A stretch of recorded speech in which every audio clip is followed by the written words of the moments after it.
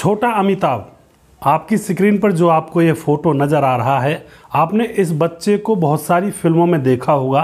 इस बच्चे ने ज़्यादातर छोटा अमिताभ के रोल निभाए हैं, यानी कि अमिताभ बच्चन के बचपन के रोल ज़्यादातर इस बच्चे ने फ़िल्मों में निभाए हैं। दोस्तों, कैसे एक्टिंग छोड़ते ही इनकी किस्मत बदल गई और आज यह अरबों खरबों का मालिक है। इसके बारे में पूरी जानकारी यहाँ पर लेने वाले हैं। आखिर यह बच्चा कौन था? किस तरह से फ़िल्मों में आया? और क्यों इन्होंने फ़िल्मों को छोड़ने का डिसीज़न लिया था? तो पूरी जानकारी यहाँ पर जानने वाले हैं। वीडियो को अंत तक ज़रूर देखिएगा। नमस्कार, मैं हूँ सुदेश कुमार और फिल्मी कहानियाँ चैनल में आपका स्वागत है। यह जो छोटा बच्चा है, इसका नाम था मास्टर मयूर। मास्टर मयूर जो कि 1978 में मुकद्दर का सिकंदर एक फ़िल्म आई थी जिसमें अमिताभ बच्चन थे। उसमें अमिताभ बच्चन के बचपन का रोल इस बच्चे ने निभाया था और यह फ़िल्म सुपर हिट रही थी और मयूर की किस्मत इस फ़िल्म से चमक गई थी। पहली ही फ़िल्म थी और इसी फ़िल्म से मास्टर मयूर की किस्मत चमक उठी थी। दोस्तों, सत्तर के दशक में मास्टर मयूर हिंदी सिनेमा पर राज किया करते थे। सभी लोगों के चहीते बाल कलाकार थे और बहुत ही सुप्रसिद्धि इन्होंने उस दौर में हासिल की थी। इनका असली नाम मयूर राज वर्मा है।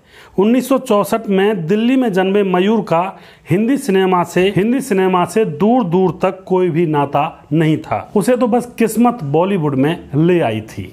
बॉलीवुड में किस तरह से आए थे, कैसे उनकी किस्मत बॉलीवुड में उनको घसीट लेकर आई थी, अब यहाँ पर इसके बारे में पूरी जानकारी लेंगे। जो मास्टर मयूर थे असल में उनकी माँ स्नेहलता वर्मा जी, जो कि पेशे से पत्रकार थी, और वह बॉलीवुड में जाकर एक्टरों के इंटरव्यू लिया करती थी। उनकी दिली ख्वाहिश यह थी कि उनका बेटा फ़िल्मों में एक्टिंग करे। मनी मन उनकी यह ख्वाहिश थी कि बेटा हीरो बने।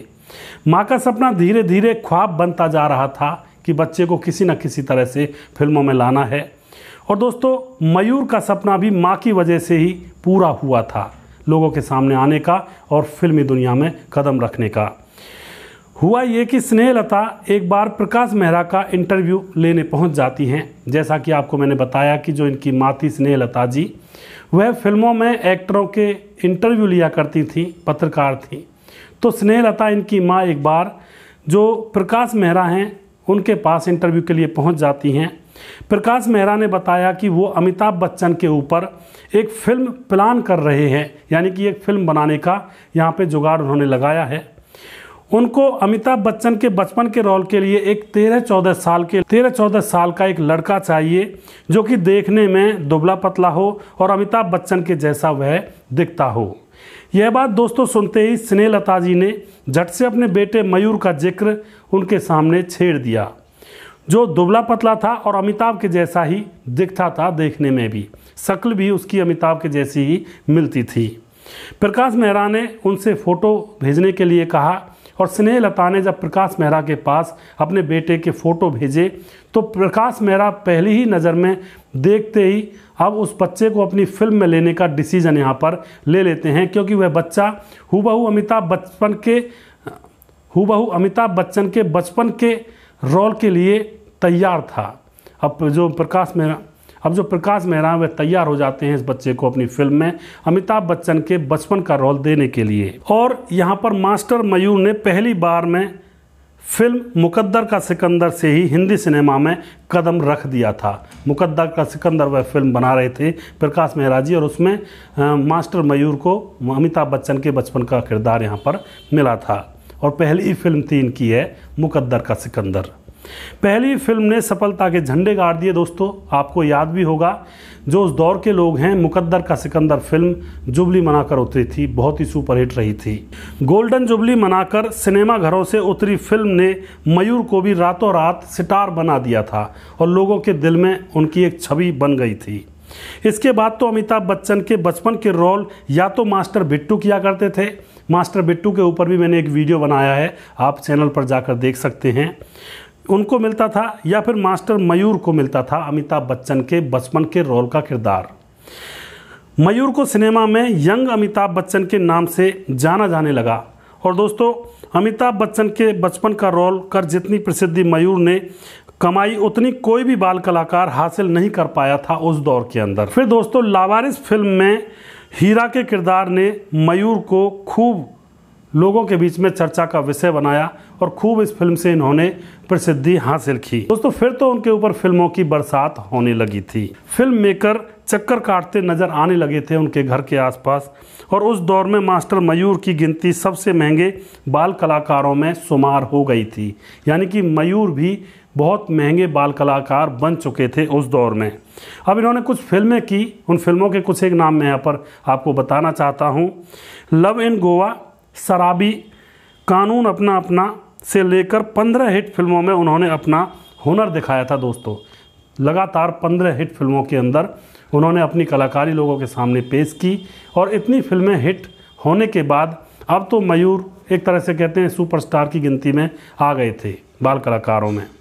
मयूर के काम की खुशबू महान डायरेक्टर बी आर चोपड़ा तक भी पहुँच पहुँच जाती है। उनको मयूर में महाभारत का अभिमन्यु नज़र आ जाता है और बी आर चोपड़ा ने मयूर को महाभारत में अभिमन्यु का किरदार दे दिया। ये किरदार तो उन्होंने ऐसा निभाया दोस्तों कि लोग आज तक भी उनको भूल नहीं पाए हैं अभि अभिमन्यु के किरदार में। लोगों को मयूर में एक उभरता हुआ स्टार नज़र आ रहा था, लेकिन साल 2001 के बाद वह किसी फ़िल्म में नज़र नहीं आए थे दोस्तों। आखिर क्यों नज़र नहीं आए थे? इसके पीछे भी एक कारण था। इसके बाद वो अचानक गायब हो जाते हैं। 2001 के बाद किसी को भी नहीं पता था कि वो क्यों गायब हुए थे। असल में उनके गायब होने के पीछे का फैसला उन्हीं का था, यानी कि खुद उनका ही था। उन्होंने बिज़नेस शुरू किया था। वह बिज़नेस में अपना हाथ आजमाना चाहते थे। फिर उन्होंने एक मशहूर सैफ नूरी से शादी कर ली और नूरी से शादी करने के बाद उनको दो बच्चे हो जाते हैं। और दो बच्चे हो जाते हैं तो उसके बाद वह भारत छोड़कर विदेश चले जाते हैं और वहाँ वो अरबपति व्यापारी बन गए दोस्तों। उन्होंने वहाँ अपनी पत्नी के साथ इंडियाना रेस्टोरेंट शुरू किया, जिसके दम पर वो अरबों के साम्राज्य के मालिक फ़िलहाल बन चुके हैं। इतना ही नहीं, वो वहाँ पर बेल्स अनलिमिटेड नाम की कंपनी भी चलाया करते हैं दोस्तों। इस कंपनी में क्या होता है, उनकी कंपनी वेल्स में आने वाले सैलानियों को वो जगह दिखाते हैं जिनको उन्होंने फ़िल्मों में देखा है। फ़िल्मों में, फ़िल्मों को शूट किया जाता है, बहुत सारी ऐसी जगह हैं। तो वह सैलानी उन फ़िल्मों को, की उस जगह को, उस लोकेशन को देखने आते हैं। वेल्स के बड़े व्यापारियों में मयूर का नाम फ़िलहाल शुमार है। वैसे मयूर बॉलीवुड को नहीं भूल पाए हैं दोस्तों। वहाँ पर वो एक्टिंग क्लास भी चलाया करते हैं और लोगों को हिंदी सिनेमा से रूबरू करवाते हैं। तो मयूर अभी भी वहाँ पर अच्छी खासी अर्निंग करते हैं। और उनकी ज़िंदगी एक तरह से बदल चुकी है। शायद हो सकता है फ़िल्मों में वो इतना नाम नहीं कमा पाते, इतनी धन दौलत नहीं कमा पाते और बाहर जाकर उन्होंने जो व्यापार बिज़नेस चालू किया है, उसमें उनको सफलता मिली और आज वे अरबों खरबों के मालिक हैं। याद आया होगा आपको जो महाभारत के अंदर अभिमन्यु का रोल करते हैं, वही मास्टर मयूर थे। जिनको आपने छोटे रूप में बहुत पुरानी फ़िल्मों में अमिताभ बच्चन के बचपन के किरदार को निभाते हुए बहुत सारी फ़िल्मों में देखा होगा।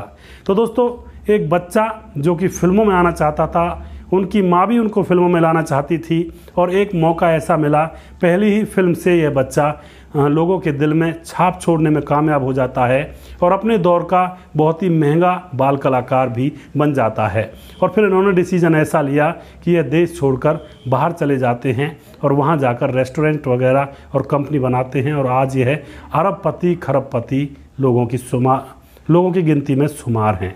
तो आपने यहाँ पर इनकी कौन सी फ़िल्म देखी थी और किस फ़िल्म में आपको यह अच्छे लगे थे? अपनी राय यहाँ पर कमेंट बॉक्स में लिख सकते हैं।